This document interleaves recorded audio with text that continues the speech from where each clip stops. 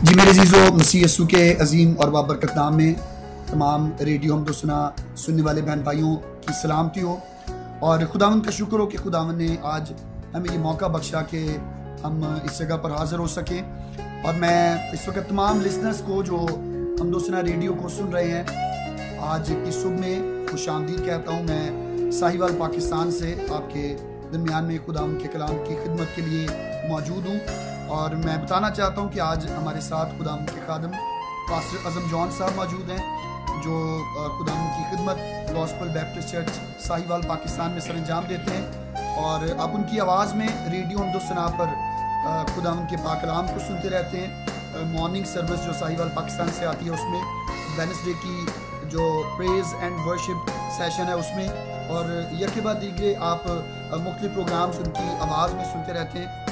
और ख़ास तौर पर सुबह की इबादत में वो जुमेरात से लेकर हमारे साथ ऑनवर्ड सैटरडे मॉर्निंग तक मौजूद होते हैं। सो पादी साहब मैं आपको आज की सुबह इस प्रोग्राम में रेडियो मुस्तना पर खुश आमदी कहता हूँ। जी थैंक यू वेरी मच पादी साहब मैं आपका शुक्रगुजार हूँ कि आपने आज एक मरतबा फिर इस खूबसूरत प्रोग्राम में आने की दावत दी और मैं खुदावंद का शुक्रगुजार हूँ उन तमाम अजीज़ों, दोस्तों साथियों के लिए भी जिस वक्त लाइव हमारे साथ मौजूद हैं और बाकायदगी से रेडियो हमदो सना के ज़रिए खुदावंद की हमदो सताइश को और उसके पाकलाम को सुनते हैं। सो खुदावंद आप सबों को बड़ी बरकत दे। बहुत शुक्रिया पादी साहब। हम जब भी जमा होते हैं तो हम किसी अच्छे मौजू पर गुफ्तु करते हैं। तो पादी साहब आज मैं चाहूँगा कि हम गुफ्तु करें खुदावन के कलाम के मुताबिक। आजकल जो पादी साहब सबसे अहम मौजू जो है क्योंकि मैं भी खुदाम का खादिम हूँ खुदाम की खिदमत में हूँ। तो जब बच्चे संडे स्कूल में आते हैं यूथ में आते हैं तो वालदेन जो हैं, वो पादी से वहाँ से शिकायत करते हैं कि भाई साहब, हमारा बच्चा चर्च में तो आता है, यूथ बाइबल स्टडी क्लास में भी आता है, हमारा बच्चा संडे स्कूल में भी आता है, लेकिन पादी साहब वो अच्छे तौर पर खुदावन में चल नहीं रहा, उनकी अदा ठीक नहीं। तो इसके बारे में पादी साहब, आज का जो हमारा मौजू है, और हमारा मौजू होगा, वो है मसीही घर। मसीही घर की एक ईमानदार की तश्कील में क्या अहमियत है, इसके बारे में मैं चाहूँगा कि हम गुफ्तु करें। और खुदा के कलाम के, की तलावत से हम आज का जो मौजू है, उसकी गुफ्तु का आगाज़ करेंगे। सो भाई साहब मैं चाहूँगा कि ज़रूर आप इन आयात को तलावत करें, उसके बाद हम अपने प्रोग्राम में आगे बढ़ेंगे। जी पार साहब, बहुत ही खूबसूरत आज का टॉपिक जो दौरे हाजरा के बिल्कुल मुताबिक है और आज मसीह घर पर एक मिसाली मसीह ख़ानदान को किस तरह से तश्कील दिया जा सकता है, उस पर हमें सिखाने की ज़रूरत है ताकि हमारी कलीसियाँ जो हैं, वो तरक्की पा सकें, हमारी कलीसियाँ बढ़ सकें और सबसे बढ़कर हमारा जो नौजवान है, वो खुदावंत के घर की तरफ़ और उसके पाक कलाम की तरफ़ रजू ला सके। सो इसी तनाजर में आप सब के लिए जितने इस वक्त हमें लाइव सुन रहे हैं एक हवाला तलावत करूँगा। अहद अतीक में से इस्तना की किताब, उसका छठा बाब और उसकी चौथी आयत से नौवीं आयत तक खुदावंद के पाक कलाम में से तलावत की जाएगी। सफ़ा नंबर एक सौ बहत्तर पर मौजूद है। कलाम खुदा में लिखा है सुन इसराइल, खुदावंद हमारा खुदा, एक ही खुदावंद है। तू अपने सारे दिल और अपनी सारी जान और अपनी सारी ताकत से खुदावंद अपने खुदा से मोहब्बत रख। और ये बातें जिनका हुक्म आज मैं तुझे देता हूँ, तेरे दिल पर नक्श रहें और तू इनको अपनी औलाद के जहन नशीन करना और घर बैठे और राह चलते और लेटते और उठते वक्त इनका ज़िक्र किया करना और तू निशान के तौर पर इनको अपने हाथ पर बांधना और वो तेरी पेशानी पर टीकों की मानंद और तू उनको अपने घर की चौकटों पर और अपने फाटकों पर लिखना। कलाम खुदा का पढ़ा और सुना जाना हम सब के लिए बरकत का बायस हो। आमीन। आमीन। शुक्रिया पादी साहब, बड़ा खूबसूरत हवाला जो है वो आपने तलावत किया इस मौजू के मुताबिक। पादी साहब, मैं ये सवाल करना चाहूँगा आपसे कि ख़ानदान में, जैसे मैंने भी बात की कि पादी जबान पर भी इस बात के लिए सवाल किया जाता है। ख़ानदान में एक वालिद की जो हैसियत है रूहानी तरक्की में बच्चों के लिए वो कैसी होती है या होनी चाहिए और कैसे वो अपने ख़ानदान को खुदावन में मज़बूत कर सकता है? पादी साहब, जब हम मसीह घर की बात करते हैं तो मौजूदा दौर में हम इस बात को देखते हैं कि जब इंसान किसी जगह पर वो जगह को ख़रीदता है तो वो अपना मकान जब तामीर करता है तो उसकी कोशिश होती है कि उस मकान को बेहतर से बेहतर बनाया जाए और उसके लिए वो बेहतरीन से बेहतरीन चीज़ें इस्तेमाल करता है और अच्छी से अच्छी चीज़ें उस मकान को तैयार करने के लिए वो इस्तेमाल करता है। यानी वो अपना फोकस इस ईंटों के मकान को बनाने के लिए, तैयार करने के लिए इस पर अपना वो सारा फोकस रखता है कि कैसे इसको मज़बूत किया जा सके। और यही ईंटों का जो मकान है, घर तब बनता है जब इसमें लोग आकर बसते हैं और घर जो है खुदावंत के बड़े खूबसूरत खादम ने कहा कि मकान जो है वो ईंटों से बनते हैं लेकिन घर जो है वो मोहब्बत से बनता है और मोहब्बत वालदेन की मोहब्बत के साथ और घर में जो बच्चे हैं उनकी आपसी मोहब्बत के साथ ही वो मकान जो है तब फिर वो घर बनता है। आज मकान की तरफ़ तो तवज्जो दी जाती है लेकिन जो घर है मसीही घर उसकी तरफ़। तवज्जो कम दी जाती है। तो जैसे आपने सवाल पूछा कि इसमें बाप का किरदार क्या है? बाप के लिए मेरे अजीज़ों हम इस बात को देख सकते हैं कि जो बाप है वो ख़ानदान का सरबरा है। जी। वो ख़ानदान का रहनुमा है ख़ानदान का वो लीडर है ख़ानदान का वो पेशवा है और ख़ानदानी ख़ानदान की वो पेशवाई करने वाला है। तो सबसे पहले हमें वालिद के किरदार को देखने और समझने की ज़रूरत है कि उसका अपना किरदार कैसा है उसकी अपनी ज़िंदगी कैसी है। आया वो खुदावंद के पाकलाम के मुताबिक अपनी ज़िंदगी को बसर करता है उसके दिल में खुदा का डर और खौफ है, अपनी बीवी के साथ वो मोहब्बत रखता है, उसका अपने बच्चों के साथ रवैया कैसा है, इन सारी बातों को हमें अपने सामने रखने की ज़रूरत है। क्योंकि अगर सरबरा जो है, वो दूसरी तरीके से काम करेगा, वो दूसरी तरीके से घर को लीड करने वाला होगा तो फिर उसका ख़ानदान भी बेहतर अंदाज से वो तरक्की पाएगा नशमा पाएगा और खुदावंत के साथ चलेगा। तो सबसे पहले जो हमें बाप के लिए देखना है कि वो खुदा तरस हो। बिल्कुल, ये बड़ा खूबसूरत का आपने मौजू में रहते हुए ये बड़ी खूबसूरत बात की कि खुदा तरस बाप हो। भाई साहब इसके बारे में मैं कहूँगा कि आप ज़रूर इसकी वजाहत करें कि खुदा तरस बाप कैसे कोई बाप खुदा तरस बन सकता है?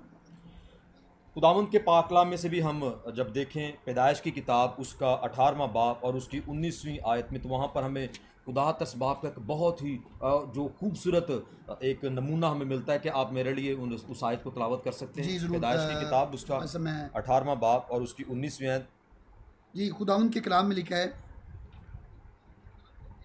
क्योंकि मैं जानता हूँ कि वो अपने बेटों और घराने को, जो उसके पीछे रह जाएँगे, वसीयत करेगा, कि वो खुदावन की राह में कायम रहकर अदलो इंसाफ करें, ताकि जो कुछ खुदावन ने अब्राहम के हक में फरमाया है, उसे पूरा करे।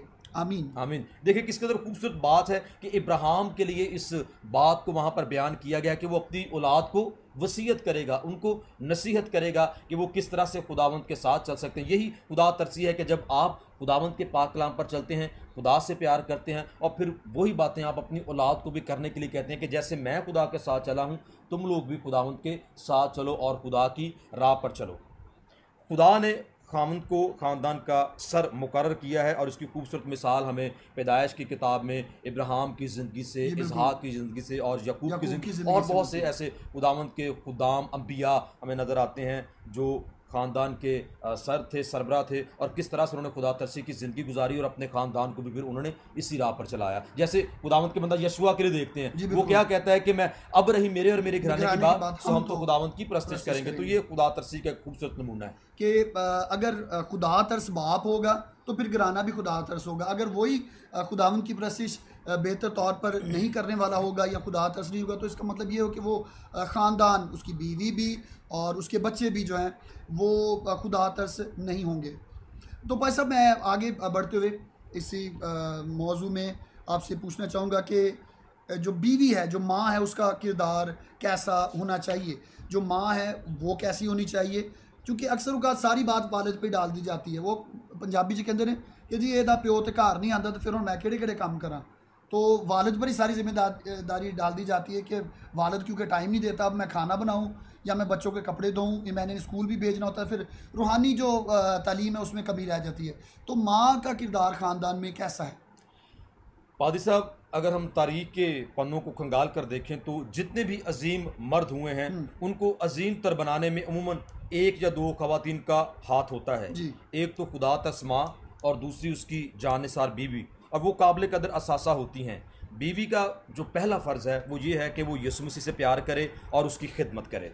और बीवी का दूसरा फ़र्ज़ खामंद की फर्माबरदारी करना है और उसके ताबे रहना है। जैसे इफ्सियों के ख़त में भी लिखा है कि ऐ बीवियों अपने शौरों की ऐसे ताबे रहो जैसे खुदावंत की। जैसे खुदावंत की वो ताबे रहती हैं उनके लिए ज़रूरी है कि वो अपने शौरों के भी ताबे रहें। सारा इसके लिए हमारे सामने एक बहुत ही अच्छा नमूना है। खुदावंत के पाकला में भी लिखा है कि सारा जो थी वो इब्राहिम के ताबे रहती थी। और ताबेदारी की मिसाल हमें इस लफ्ज़ से मिलती है कि वो उसे अपना खुदावंत कहा करती थी, थी और खुदावंत का मतलब हम सब जानते हैं कि मालिक, मालिक। है वो उसे अपना मालिक सब्र करती थी और वो उसके हुक्म में रहती और उसके ताबे रहती थी। और दौर जदीद की बीवी के लिए भी ये एक बड़ा खूबसूरत सबक है कि वो किस तरह से अपने शोहर के ताबे रह सकती है और किस तरह से वो उसके ताबे रह कर खुदावंत की मर्ज़ी को पूरा कर सकती है।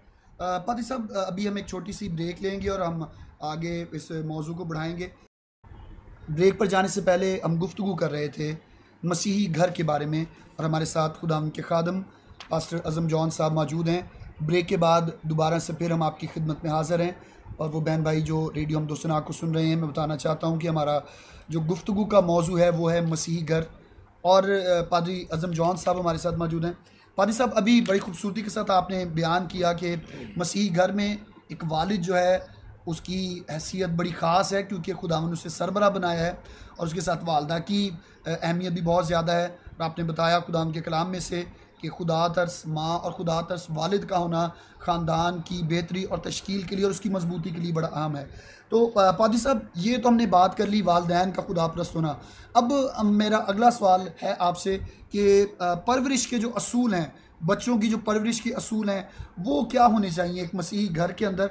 बच्चों की परवरिश के असूल क्या होने चाहिए जिससे कि एक अच्छा और मज़बूत मसीह घराना जो है वो तश्कील पाए? जैसा आपने सवाल पूछा और इससे पहले हमने देखा कि इस्तना की किताब, उसका छठा बाब और उसकी जो चौथी और पाँचवीं आयत है, वहाँ पर एक तरह से वालदेन को ही मुखातिब किया गया है कि वो अपने सारे दिल अपनी सारी जान अपनी सारी अकल और अपनी सारी ताकत से खुदावन से मोहब्बत रखें। और जो हुक्म खुदावन ने उनको दिए हैं उनके लिए लिखा है कि वो उनके दिल पर नक्श हों। यानी पहले वो खुद कलाम से फैज़याब हों पहले वो खुद कलाम पर अमल करें उनकी ज़िंदगी एक अमली नमूना हो उनकी औलाद के लिए ताकि उनके जो बच्चे हैं वो उनकी ज़िंदगी को देख कर सीख सकें और वो उनके नक्शे कदम पर चल सकें। तो सबसे पहली बात परवरिश के असूल में ये है कि वो खुद पाकलाम को अच्छी तरह सुने समझें और सीखें और फिर उसके बाद इसकी जो तरबियत है इसकी जो तालीम है अपनी औलाद को भी दें। और परवरिश के दो असूल हैं। जी। ख़ानदान में अगर हम दो असूलों को अपने सामने परवरिश के दो असूल पहला असूल यह है कि मिलकर बैठकर दुआ करना।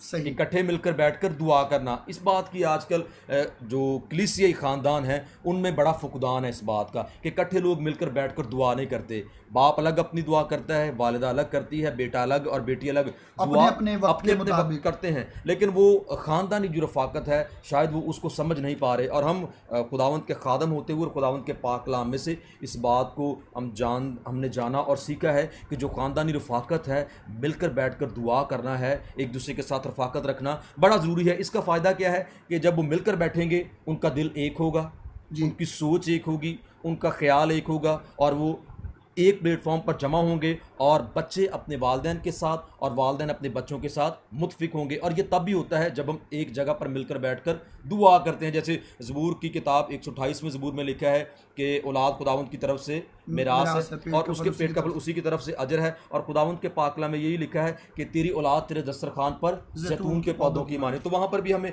एक ख़ानदानी रफाकत का दर्स मिलता है और ये पैगाम वहाँ पर हमें नज़र आता है कि मिलकर बैठना रफाकत रखना ये बड़ा ज़रूरी है और इसमें बड़ी बरकत है। तो परवरिश के दो असूलों में पहला असूल ये है कि मिलकर दुआ करें। बैठें ख़ानदान के साथ हम जो वालिद हैं वालिदा और अपने बच्चों को साथ बिठाएँ और दुआ करें। और परवरिश का जो दूसरा असूल है बच्चों के साथ मिलकर खेलना। ये बड़ा ज़रूरी है ख़ानदान में क्योंकि आज इंसान बड़ा मसरूफ़ है अपने कामों में लगा हुआ है और शायद वो अपने ख़ानदान को अपने बच्चों को टाइम नहीं दे पाता। ये वालदा काम करती है ये वालिद काम करते हैं तो सुबह को जाते हैं शाम को आते हैं तो ज़िंदगी इस तरह से ही वो कैलकुलेटेड है और वो चलती जा रही है और उनको अपने बच्चों के लिए टाइम बिल्कुल नहीं मिलता। तो परविश के असूलों में जो दूसरा असूल वो ये है कि आप बच्चों के साथ मिलकर दुआ करें और उनके साथ मिलकर खेलें। छोटी छोटी एक्टिविटीज़ हैं गेम्स हैं उनके साथ आउटिंग के लिए जाएँ बाहर निकलें घूमें फिरें ताकि जो बच्चों के साथ आपका जो ताल्लुक है और भी ज़्यादा गहरा और मज़बूत हो सके। क्योंकि जब ताल्लुक गहरा और मज़बूत होगा तो फिर मेरे अज़ीज़ जो मसीही मिसाली ख़ानदान जो है वो आगे बढ़ेगा और तरक्की करेगा। आ, बहुत शुक्रिया भाई साहब आपने बड़ी खूबसूरती से बयान किया कि परवरिश के असूल क्या हैं कैसे परवरिश होनी चाहिए। तो भाई साहब आगे मैं ये बात करना चाहूँगा कि औलाद की ज़िम्मेदारी क्या है? औलाद जो बच्चे हैं माँ बाप के बारे में तो हमने सब कुछ अभी बात की। औलाद की ज़िम्मेदारी क्या है? और कैसे वो अपनी ज़िम्मेदारी को बतौर बच्चे होते हुए वो निभा सकते हैं खरूज की किताब उसका बीसवां बाप और उसकी बारहवीं आयत में ये लिखा है कि तू अपने बाप और अपनी माँ की इज़्ज़त करना ताकि तेरी उम्र उस मुल्क में जो खुदावन तेरा खुदा तुझे देता है दराज दराज हो हो। तो बच्चों के लिए भी ये ज़रूरी है कि जब वालदेन उनसे मोहब्बत करते हैं प्यार करते हैं उनकी सारी ज़रूरतों को पूरा करते हैं तो फिर उनका जो अवलिन फ़र्ज़ है जी। उनकी ज़िंदगी में कि वो अपने वालदेन की इज़्ज़त करें।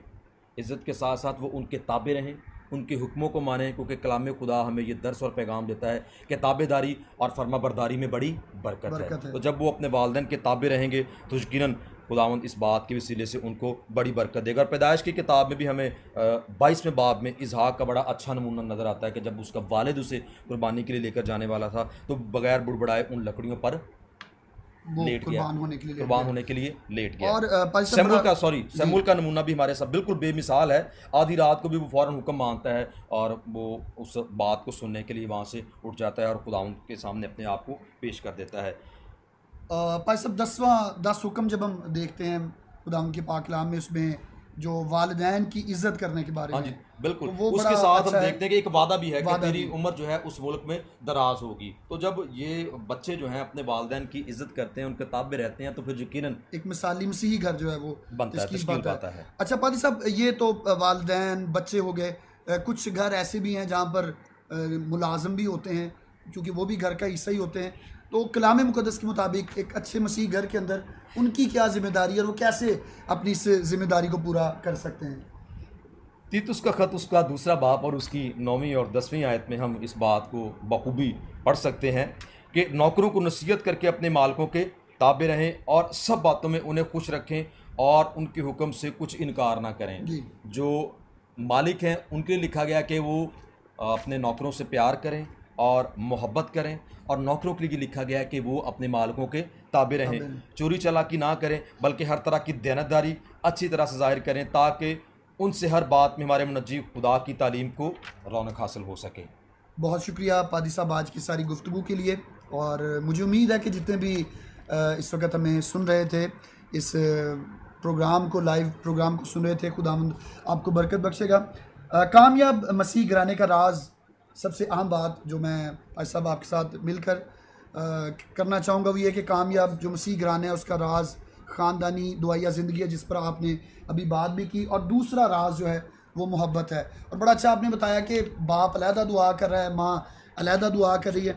और अभी जब हम ब्रेक में थे तो पायसम ने बड़ी अच्छी बात बताई कि बच्चे जो हैं वो एक पतंग की मानद हैं और उनकी डोर जो है वो वालदेन के हाथ में है। और जितना उस डोर को छोड़ते जाएँगे, उतने बच्चे जो हैं वो दूर चले जाएँगे। और जितना उसे खींच कर रखेंगे पतंग जो है वो बिल्कुल सही हालत में रहेगी।